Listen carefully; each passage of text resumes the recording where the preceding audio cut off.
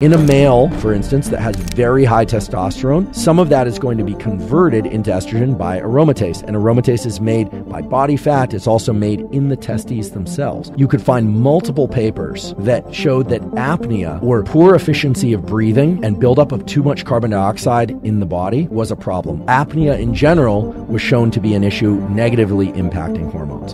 Now, the directionality of this effect isn't entirely clear. It could be that reductions in estrogen cause apnea. Testosterone reductions were associated with apnea. There are very clear ways in which patterns of breathing, especially patterns of breathing in sleep, can modulate hormones in ways that are immediately actionable and can serve to optimize testosterone. One of the main behaviors that's been shown to be associated with lower levels of testosterone is apnea. Apnea has everything to do with underbreathing and the buildup of too much carbon dioxide in the body. But if there's a consistent literature in this whole story about aging and reductions in hormones and general health and reductions in hormones, it's apnea. In every case, you could find multiple papers that showed that apnea or poor efficiency of breathing and buildup of too much carbon dioxide in the body was a problem. Mostly sleep apnea, although apnea in general was shown to be an issue negatively impacting hormones. Now, that was true for males and females, but what's really interesting is that there are very clear ways in which patterns of breathing, especially patterns of breathing in sleep, can modulate hormones in ways that are immediately actionable and can serve to optimize both estrogen and testosterone, regardless of whether or not you have ovaries or testes. So, what is apnea? Apnea is underbreathing or mainly cessation of breathing during sleep. So people are holding their breath and then they'll, they'll suddenly wake up. Actually, I've talked about the physiological sigh on previous episodes of this podcast, of this pattern of double inhales followed by exhales that one can do consciously to reduce stress and anxiety and offload carbon dioxide. That pattern of breathing is actually what kicks in spontaneously anytime we have an apnea episode in sleep. Although in many people who have apnea, they don't engage the physiological sigh. People who are dramatically overweight also suffer a lot from apnea during sleep. There's actually a lot of buildup of carbon dioxide in the body, and that can lead to excessive sleepiness during the day, inability to access the deeper phases of sleep. And it's well established that going into deep sleep and getting the proper patterns of slow wave sleep and REM sleep are important for hormone optimization. The issue of breathing itself can be adjusted in the daytime waking hours in ways that can powerfully impact both sleep, reduce incidence of sleep apnea, and apparently from some emerging literature can also help to optimize various hormones even just by breathing in particular ways while awake. So here's how this works. There's now a lot of literature showing that breathing through the nose, not through the mouth, is powerful for improving lots of things. First of all, it improves cosmetic features of the jaw and face. This was first well established by my colleagues at Stanford in a book called Jaws. The Story of a Hidden Epidemic. This is by Sandra Kahn and Paul Ehrlich, who are both uh, faculty at Stanford. Has a foreword by Robert Sapolsky, the great Robert Sapolsky. And uh, it also has a heavy endorsement up front by Jared Diamond, the author of uh, Guns, Germs, and Steel, the Pulitzer winner. So a lot of heavy hitters on this book, Jaws. It's not a book that a lot of people know about, unfortunately, but it really describes the benefits of nasal breathing and the terrible things that happen when people, in particular children, but adults also, are heavy mouth mouth breathers. So, mouth breathers have changes in the cosmetics of their face and jaw that are really bad um, in terms of att- uh, attractiveness. And this was done in twin studies. You can look in the book and see some of this. It's really dramatic how being a mouth breather tends to make the chin drop back be- behind the upper mandible. There's a lengthening of the face, a drooping of the eyes. It can be quite dramatic or modest, depending on how much mouth breathing. Now, sometimes we have to breathe with our mouths, but there's also a lot of data and studies described in this book, Jaws, that describe how nose breathing in wakefulness and in sleep promotes all sorts of positive things related to not just cosmetics, but also the improvement of gas exchange of carbon dioxide and oxygen in the body. And as well, it can modify levels of different neurotransmitters and neuromodulators in ways that positively can impact hormones.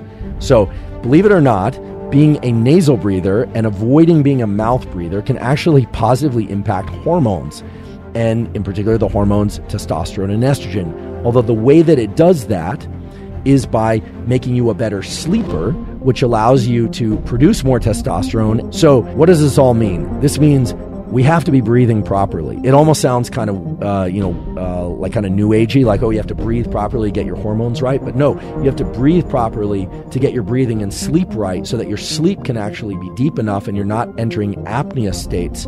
And then that will support gonad function. A few years ago, there was a lot of excitement about the hormone DHEA, which is mainly made by the adrenals. DHEA has been promoted as kind of a catch all for increasing testosterone and estrogen in males. And the extent to which it increases one or the other will depend on whether or not you're starting off with more estrogen than testosterone, whether or not you're starting off with more testosterone than estrogen, and whether or not you have a lot of aromatase. So, for individuals that have a lot of aromatase being made by the testes or by body fat, if you take DHEA, there's a good chance that a, a fair portion of that is going to be shuttled towards estrogen production and not towards testosterone production.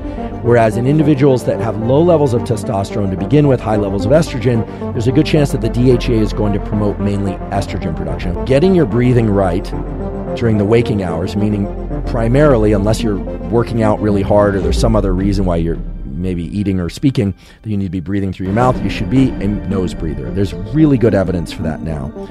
And in sleep, you also want to be a nose breather because that's going to increase the amount of oxygen that you're bringing into your system and the amount of carbon dioxide that you're offloading. There are other positive effects of it as well, but you're basically reducing apnea. So, the simple version of this is get your breathing right. So, how do you do that? How do you get your breathing right? Well, for some people that have severe sleep apnea, they're going to need the CPAP machine. This is a machine that you actually put on your face and it helps you breathe properly in sleep. Many people, however, are starting to do this thing of taping their mouth shut. Now, this sounds a little bit extreme, and you certainly don't want to uh, do this in any way that's dangerous. In the daytime, the best way to get good at nasal breathing is to dilate the nasal passages because a lot of people have a hard time breathing through their nose.